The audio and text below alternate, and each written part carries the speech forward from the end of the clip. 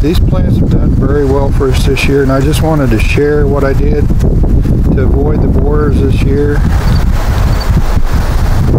I planted these in uh, August and the borers were still active. I tried to spray the base of the plant uh, a couple times. I don't know how much that helped because I still got some eggs. So what I did was uh, inspected the base of the plant. This one here hasn't done as well, so let's look at it. It's easier to see. When they were very young, the uh, borers would lay the eggs, I mean right at soil level. So they were easy to find. Another place they like to lay the eggs is at the base of a leaf stem. And then occasionally I would find eggs up the leaf stem a ways. But I just uh, did a visual inspection about every three or four days. If I found eggs, I picked them off.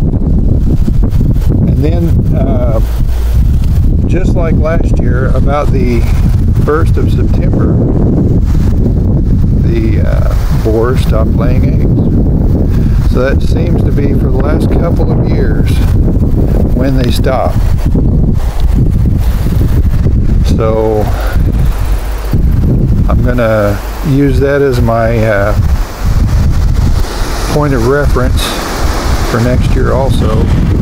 And if it if we see the same thing three years in a row, I'm going to think that's probably a pretty good uh, time to assume they're going to quit laying is about the 1st of September. But what I did was pick a couple of squash varieties that mature very quickly. Uh, so even though I had a short window of uh, growth time, I still we still got quite a few squash. And there's even a couple I need to pick today probably. That one there. And there's one well there's a couple there on that one. And maybe one there. And that one I should have already picked. But at this point in the season, we've uh, got the powdery mildew, but we're, we're still going to get a number of squash yet. But I just want to share uh, how I got to this point without having the borers just wipe us out. This group, the time I planted them, they were very small, so I could easily inspect the uh, plants for eggs. And it worked out very well for me, and that's what I'll plan to do next year. We have them so bad uh, in our area that I think the probably the best time to plant would be very early or very late when the uh, borers aren't active.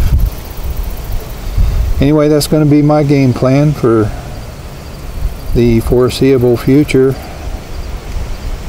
Just wanted to share. If you're just finding this channel uh, and you haven't subscribed yet, please subscribe. If you have subscribed, like, comment, or share. We'll see you next time.